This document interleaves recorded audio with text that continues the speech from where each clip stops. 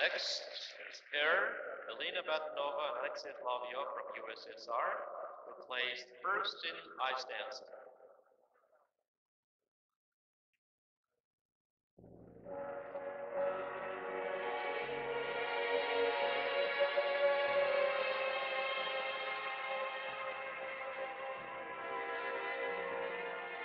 さあ表情は18歳の頃 アイスダンス優勝のソビエトのバタノワとサラビオフです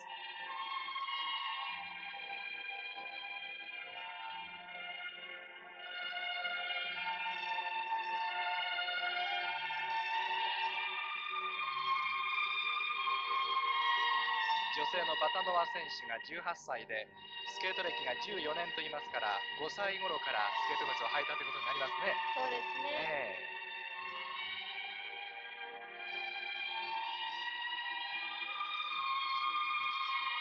もあのアイスダンスをやる前は多分、えはい。あのシングルスケーティングをやって、えスケーティングを基礎を本当に完璧にできるまで練習してそれからパートナーと組んでやったんじゃないかなえと思うんですそうでしょうね。やはりあのソ連にはそういうシステムがあってはい。あのペアスケーティングに行く選手アイスダンスに行く選手それで分けていくんですね男性の場合はあの滑りがとってもうまい場合はもうシングルスケーティングのジャンプの方高い技術の方やらしてそうじゃない選手はこうやってアイスダンスの方にねええ女性を見せるうまく見せれるような選手に作り上げるんですね。ええですから非常にあの美しい選手がアイスダンスの方には多いんですよね。そうですね。あの男性の場合もあの覚えてるかどうかわかんないんですけど、はいパコマバゴルシコフ組っていうあの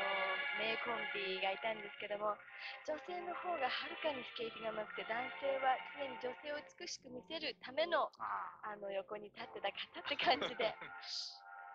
この組もそんな印象がありますね。ともにまだ18歳、伸び盛りです。今大会ではフォックスベリー組を下して優勝しました。しかも渡辺さん、あの去年までは世界ジュニアに出て、そ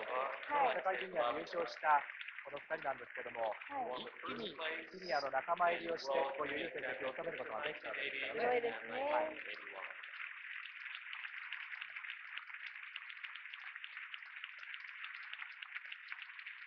すごいですね。はい引き続きアンコールを求める拍手が鳴り渡っております。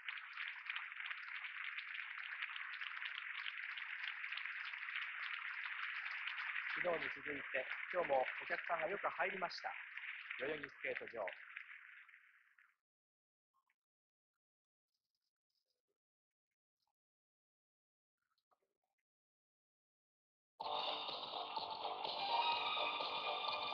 アンコールに応えての演技です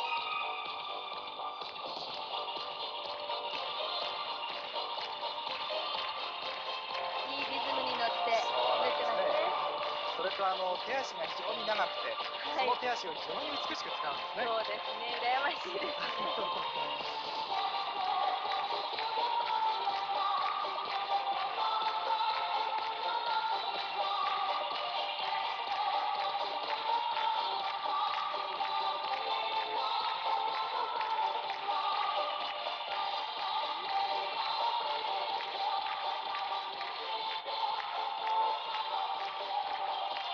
画面を見てると女性ばかりにこう注目がいくと思うんですけど、はいそれが男性のうまさなんですよね。そういうこと女性でしょうねの方をみええんな見せるために横にいるって感じで。まあ、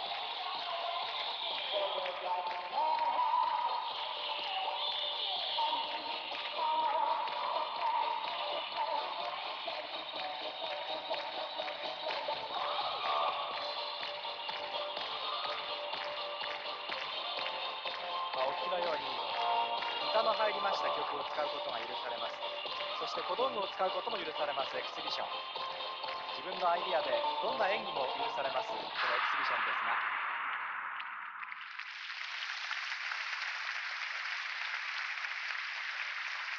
フレッシュでそして非常に生き生きとした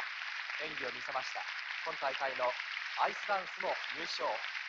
ソビエトバタノワ・サラビヨフ組です。あのソ連に帰るとまだまだたくさんの国がいるんですね。NHK 杯で優勝しても多分この国は世界選手権には出てこないと思うんです。ははだからそれだけソ連にはもう層が厚い